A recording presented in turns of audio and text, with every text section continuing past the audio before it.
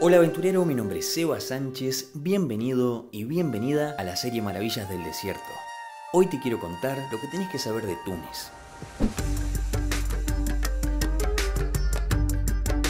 Túnez es el país ubicado más al norte del continente africano unas playas espectaculares en su costa sobre el mar Mediterráneo, paisajes arenosos del Sahara en el sur un patrimonio cultural y arquitectónico rico y variado con influencias griegas, romanas y genovesas, además de las originarias de la propia región. Todo esto hace de Túnez un destino que te puede fascinar en tu próximo viaje. El idioma oficial es el árabe, aunque también se habla fluidamente francés y las personas que trabajan en los servicios relacionados con el turismo manejan un poco de inglés o español. La moneda de Túnez es el dinar, circula en billetes de 5, 10, 20 y 50 y un dólar equivale alrededor de 2,70 dinares. La forma más cómoda de empezar tu viaje en Túnez es a través de su capital que lleva el mismo nombre, que cuenta con un aeropuerto internacional en sus afueras. El aeropuerto está bien conectado con la ciudad y es fácil llegar al centro tanto en bus como en taxi. Estos servicios, además de una extensa red de metro, los vas a poder usar para moverte por toda la ciudad. En la ciudad de Túnez hay una oferta amplia y variada, por lo que no te va a resultar difícil encontrar un lugar cómodo para hospedarte. Algunas de las zonas que te recomiendo son La Medina, que es el casco histórico que cuenta con una gran cantidad de sitios de interés. Otro lugar que te podrías hospedar sería Ville Nouvelle, que es un área moderna donde se concentran la mayoría de los hoteles. Algunos de los sitios más interesantes para visitar en la ciudad de Túnez son la mezquita Sitouna, que es la principal de la Medina, con una de las principales y más grandes universidades islámicas. Por otro lado tenemos el Museo Nacional del Bardo, que es el segundo más grande del continente y expone, entre otras cosas, una gran colección de mosaicos romanos y cerámicas islámicas antiguas. Otro lugar interesante es el Parque de Belvedere, este es el pulmón verde de la ciudad que cuenta también con un zoológico y con el Museo de Arte Moderno. En las afueras de la ciudad podés visitar el sitio arqueológico más importante de Túnez, las ruinas de Cartago, la antigua ciudad romana. Las partes más destacadas del yacimiento arqueológico son la Acrópolis de Birsa, el anfiteatro, la zona de las villas romanas, las basílicas, las termas de Antonino Pío y los depósitos de la Málaga.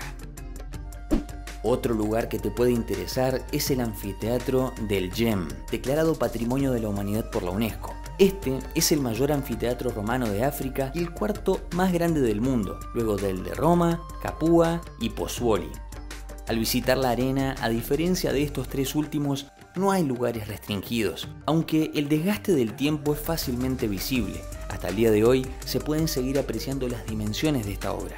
Además del anfiteatro, en Gem podés visitar su museo que exhibe grandes colecciones de mosaicos, esculturas y diversos objetos romanos. Túnez es también conocido por sus hermosas playas frente al mar Mediterráneo. La arena es blanca y las aguas cálidas y cristalinas. La oferta hotelera es muy grande y de calidad y la mayoría de los hoteles cuenta con playas privadas que te permiten una estadía más relajada y tranquila. Algunas de las playas más bellas y populares son Madía, que es una ciudad costera muy tradicional. Por otro lado tenés Monastir, que además de largas playas de arena fina y aguas transparentes, cuenta con una gran relevancia histórica reconocible en sus fortificaciones. Es la más conocida del país y se encuentra cerca de la capital, y otra opción sería la isla de Yerba, que mezcla sus hermosas playas con el calor desértico y una maravillosa arquitectura autóctona donde domina la cultura bereber. Si sos fan de la saga de la Guerra de las Galaxias, en Túnez te podés encontrar con muchos destinos casi diseñados para vos. Y eso se debe a que la franquicia eligió y construyó muchos de sus escenarios en este país, como la ciudad de Mos Espa, la granja de los Lars, Mos Eisley y otros paisajes del planeta Tatooine. Todos estos lugares fueron filmados en distintas zonas del país, desde Toseur, el lago Chot el Yerit y hasta en la isla de Yerba. Por lo que si querés hacer un recorrido exhaustivo en todos estos lugares, te recomiendo que lo hagas con un guía. La gastronomía tunecina combina una fuerte tradición árabe con influencias de todas las otras culturas que han habitado la zona. Por su cercanía con el Mediterráneo, muchas de sus comidas son en base a aceite de oliva, tomates, pescados, cordero y muchas especias. Algunos de sus platos típicos son el cuscús, que está hecho con sémola de trigo, acompañado de cordero, pollo o pescado, verduras y salsa de tomate, el tajín, que es un estofado cocinado en un recipiente del mismo nombre, hoja, también llamado shakshuka, que es una salsa de tomate en la que se cocinan carnes, pimientos y huevos con diferentes especias, y la ensalada toncia, que está hecha a base de pimientos dulces y pimientos picantes mezclado con tomates y servidos con aceite de oliva, vinagre y atún.